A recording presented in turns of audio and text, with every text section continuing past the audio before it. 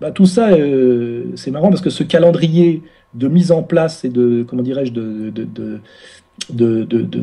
comment dirais-je, d'étape finale du nouvel ordre mondial comment dire, inclut aussi la manipulation et la récupération de ce qu'on appelle les printemps arabes, qui ont beaucoup à voir aussi avec les opérations euh, de type révolution colorée euh, qui, se sont jouées il y a quelques années dans les pays de l'Est et où euh, le, M. Soros et ce genre de réseau ont joué un rôle très important et qui, je vous le rappelle, se font quand même, même si on, met un peu dans l'histoire les, les islamistes, on sait d'ailleurs que l'Empire se sert beaucoup des islamistes manipulation, elle l'a toujours fait. le but est quand même de soumettre ces régimes issus, je rappelle, de la décolonisation, Hein, euh, là, on partirait sur un autre pour euh, montrer tout ce que ça implique, cette période de, intermédiaire de la décolonisation, pour les, comment dirais-je, les mettre entièrement sous tutelle du FMI, en réalité, mettre à la tête de ces pays de purs démocrates formés en Angleterre ou aux États-Unis, et quitte à accepter un certain partage du pouvoir avec certains, on va dire, partis islamistes institutionnels, à condition effectivement qu'ils soient des islamistes libéraux. C'est assez, euh, assez étrange et assez compliqué, et on voit que dans, ce, dans cette vision globale, euh, tous ces, anciens pays euh, atypiques, comme pouvaient l'être les pays du Maghreb, mais aussi, et encore plus, on va dire, la Syrie et la Libye, doivent être aussi mis au pas et ces régimes doivent tomber. Et on voit bien qu'il y a quand même un calendrier, et que finalement, ce calendrier qui avait beaucoup à voir avec le redécoupage du Moyen-Orient, du projet néoconservateur porté par Bush, n'a pas pu être fait par Bush, il est en train d'être fait par Obama, Obama le noir, Obama le exactement comme en France, finalement, la mise en place, comment dirais-je, de la, euh, finalement de la, euh, de la, du néolibéralisme euh, qui avait été entamé légèrement par Giscard et qui avait commencé avec la, comment dirais-je l'éviction de De Gaulle a finalement été totalement mis en place et achevé dans sa mise en place par Mitterrand. C'est-à-dire que c'est toujours un homme de gauche qui finit le travail que ne peut pas faire un homme de droite parce que ça se verrait trop. Et là, je dirais que en termes de guerre, finalement, Obama est encore très au-dessus de, de Bush euh, et, c'est d'ailleurs peut-être pour ça qu'on lui a filé le prix Nobel de la paix, pour que ça se voit un peu moins. Donc on voit bien quand même que toutes ces opérations sont concertées et que les, Nobel font partie, comment dirais-je, du système euh, de contrôle mondialiste au même titre que l'ONU, euh, euh, je sais pas quoi, l'OMS. enfin, c'est une des officines finalement de l'empire. Voilà. Et alors, ce qui est intéressant, c'est que effectivement, les régimes euh, comment dirais-je, égyptiens et tunisiens sont tombés. C'est l'armée quand même qui a la main dans ces deux pays. Euh, ils sont quand même obligés de tenir compte de la population qui maintient sa pression. Donc c'est un jeu complexe euh, où les Américains sont derrière sur le long terme, exactement, un peu ça ressemble à tous les processus révolutionnaires, pour essayer de gagner sur la distance, mais quand même le pouvoir euh, actuel de transition est obligé de faire des, entre guillemets, des concessions et de satisfaire un peu le peuple. On le voit en Égypte beaucoup, on le voit aussi en Tunisie. Euh, et euh, donc, la messe n'est pas dite à ce niveau-là, hein, pour ces deux pays. En revanche, si on regarde par exemple la Libye et la Syrie, ce sont de pures opérations de déstabilisation extérieure avec très peu de légitimité intérieure. Et on voit, notamment si on commence à parler de la Libye, que nous avons finalement déclenché une guerre néocoloniale pure et dure euh, en Libye, dont nous sommes le fer de lance officiel, hein, ce qui est catastrophique pour la France, euh, contre un régime qui était absolument pas aussi fragile qu'on le prétend, et que cette guerre, comme je l'ai dit d'ailleurs dès le départ, euh, Kadhafi est en train de la gagner, et que pour qu'il la perde, il faudrait que les Américains s'investissent exactement dans les mêmes proportions, je dirais qu'ils se sont investis en Irak, ce qu'ils ne feront pas directement. Ce qui veut dire que pour l'instant, on est allé en avant-garde pour les Américains dans cette guerre. On lâché un peu par les Anglais, lâché un peu par les Américains qui jouent un jeu double. Euh, on porte toute la responsabilité de cette euh, violence sur des populations civiles du Maghreb et africaines. Il ne faut pas oublier que la Libye est, très très respectée comme pays euh, par les Africains. Hein, pas seulement, c'est pas seulement un pays du Maghreb, c'est un pays leader africain. nous sommes en train de, porter la responsabilité de cette agression. nous allons sans doute vers un échec.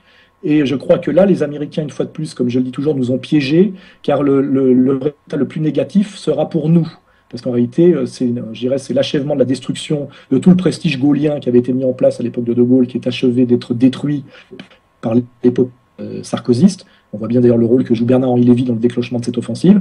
Euh, nous n'avons pas les moyens de gagner cette guerre tout seul. Le haut commandement militaire français le sait et commence à ruer dans les brancards. Nous sommes à la merci finalement du bon vouloir des Américains qui peuvent décider de nous la faire gagner ou pas. Et je pense que leur jeu, c'est qu'on ni ne la gagne ni ne la perde. Ils négocient en ce moment, je pense, avec Kadhafi. Ils obtiennent de lui des tas de concessions pour qu'il puisse garder une partie de son pouvoir. Et donc, nous aurons fait le sale boulot comme des tirailleurs sénégalais pour les Américains.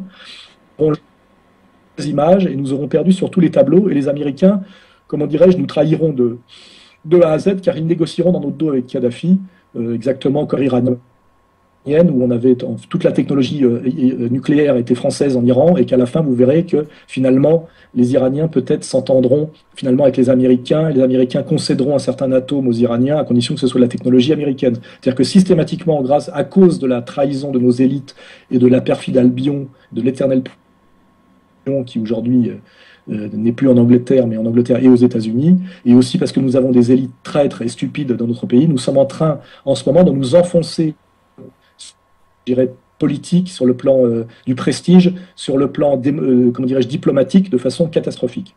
Après, pour passer à la Syrie, la Syrie, c'est pareil, c'est une opération de déstabilisation extérieure dans laquelle on utilise d'ailleurs des fondamentalistes musulmans financés par l'Arabie saoudite, notamment l'Arabie saoudite, dont je le répète, est totalement liée pour la survie de la dynastie euh, des Saouds à la puissance impériale américaine. Hein. Elle, est liée par l'armée et par le le montage du pétrodollar. Donc effectivement, euh, c'est une réponse d'ailleurs que je voulais donner à des, internautes. C'est que des internautes me reprochaient le soutien, comment dirais-je, d'un soufi à, mon livre et disaient voilà, les soufis sont des traîtres, euh, les vrais résistants sont les fondamentalistes musulmans de type salafiste. En réalité, l'empire euh, comment dire, instrumentalise et je dirais un certain islam pacifique qui serait le soufisme et un certain islam radical qui est un certain salafisme wahhabite saoudien, car ils ont l'intérêt finalement à monter ces deux tendances de l'islam les unes contre les autres. Et en fait ils ne manipulent pas l'une contre l'autre euh, en étant d'un côté ou d'un autre, c'est ça qu'il faut comprendre, c'est toujours un jeu triangulaire, ils manipulent les deux parce que finalement, finalement, de jouer la carte et du soufisme et du salafisme wahhabite, c'est le meilleur moyen de créer une guerre interne à l'intérieur de l'islam et d'empêcher l'existence de la Oumma politique autrement que comme un vœu pieux. Donc effectivement, les Américains, je le sais, j'en ai conscience, manipulent et un certain soufisme et un certain salafisme. Donc c'est pas la peine de chercher qui sont les gentils et qui sont les méchants et de déduire parce qu'on a détecté qu'un certain soufisme était manipulé par les Américains que du coup ça ferait du salafisme wahhabite un mouvement de résistance. Il faut bien comprendre, c'est comme au football, que quand vous voyez deux équipes jouer sur le terrain, et eh ben finalement euh, celui qui vend les billets est propriétaire des deux équipes et qu'il faut arrêter de, comment dirais-je, de modéliser la politique sur le sport où on pense qu'il y a deux équipes et que si Hitler est le méchant, Staline est le gentil ou l'inverse. Finalement, nous avons deux méchants pensés finalement par un bien qui se situe en dessus de ces deux-là. Voilà, et c'est un peu ça aujourd'hui. Là, c'était ma petite parenthèse sur les islams. Hein, L'empire manipule les, les, deux, je dirais, islams les plus éloignés sur l'échiquier. Il manipule les deux pour les monter les uns contre les autres et il se sert des deux comme il le peut. Hein, voilà. C'est ça, effectivement, que monte un coup un attentat islamique radical contre les Européens chrétiens et un coup un attentat euh, d'Européens chrétiens contre les immigrés musulmans. Hein, voilà, c'est toujours, ils ne sont ni d'un côté ni de l'autre. Et c'est ça qu'il faut comprendre. C'est la domination par le chaos. On finance, comme en Afrique, les deux, camps, on finance les deux ethnies, on finance toujours les que ça y a la guerre et on règne par le diviser pour régner. Hein. Voilà, c'est cette vision qu'il faut bien s'inscrire dans la tête et cette vision demande de comprendre que la réalité est triangulaire et que justement ce n'est pas comme le sport, c'est un, jeu à trois joueurs, à deux joueurs qui jouent et un joueur caché qui finalement manipule les deux joueurs, voilà, et qui gagne soit le gagnant temporaire de la partie, voilà, parce qu'en fait la victoire c'est que le match continue dans toute sa violence. Hein, voilà, c'est ça qu'il faut comprendre. Hein. Euh, voilà. Et donc dans l'affaire syrienne, c'est une opération purement extérieure dont on sait quand on a des gens sérieux qui sont là-bas, qu'en fait ça a soudé le peuple derrière le président Assad, qui ne veut absolument pas d'un chaos islamique qu'ils ont un pays qui fonctionne assez bien, et que ce qu'on nous montre aujourd'hui aux informations, aux journaux, sont des mensonges incroyables, des manipulations incroyables, et je crois que ça aussi c'est un signe de, le signe qu'on s'approche un peu de la fin des temps, c'est que le niveau de mensonges des médias officiels et des journalistes, je dirais euh, standard, a atteint un niveau qui est un niveau de propagande de guerre. Hein, voilà. C'est à peu près le même niveau de mensonge que la propagande de guerre euh, soviétique ou pas soviétique d'ailleurs euh, des années 40. Hein, voilà, c'est d'une obscénité pour quiconque s'intéresse sérieusement à ces sujets et à ces dossiers et est un petit peu en faire, euh, informé par le terrain, que ce soit la Libye ou la Syrie, c'est obscène l'écart qui est entre les commentaires et politique officielle et la réalité du terrain. Et ça, c'est aussi un signe qu'on se rapproche de plus en plus d'un espèce de chaos ou d'un changement d'ordre ou de, de, quelque chose de l'ordre de la révolution ou de la dictature. C'est que jamais le mensonge, la manipulation et la violence n'a été aussi grande. Et là, je reviens effectivement et aux au double attentat d'Oslo et aux commentaires politico-journalistiques qui en sont faits et aux choses qui sont dites mensongèrement et aux, choses qui sont cassées, cachées et à quoi ça sert et ce que ça dit. Voilà. De toute façon, cette pièce de théâtre qui se jouait, le, pouvoir politique américain ne pouvait pas faillite et en cessation de paiement. Donc il est évident que c'était un bras de fer, un peu spectaculaire, mais que ça ne pouvait finir que comme ça.